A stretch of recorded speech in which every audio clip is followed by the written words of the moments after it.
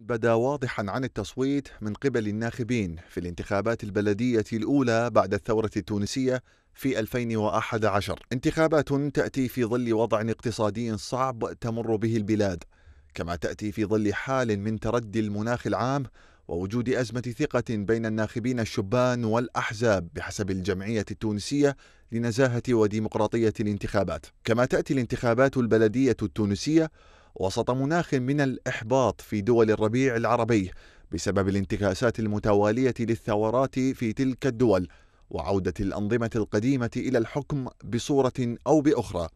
الأمر الذي ربما يجعل من تونس استثناء في دول الربيع العربي لا سيما بعد أن عكست نتائج الانتخابات صورة ديمقراطية قلما تتكرر في العالم العربي رغم ضعف الإقبال على التصويت فلقد تراجعت إلى المركز الثاني حركة نداء تونس التي يتزعمها الرئيس التونسي الباجي قايد السبسي بنسبة 21% بينما تصدرت حركة النهضة النتائج بنحو 29% من أصوات الناخبين في حين حصل مجموع القوائم المستقلة على 32% ما يعني أن أي قوة سياسية لن تستطيع الانفراد بالقرار. وهو الأمر الذي يكشف عن وعي الناخب التونسي وانحيازه لسياسة التوافق والتوازن السياسي في البلاد.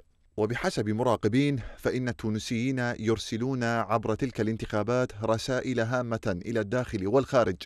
أولها أن تونس سائرة في الاتجاه الصحيح نحو استكمال مسار الانتقال الديمقراطي رغم ما يعترض ذلك من عقبات.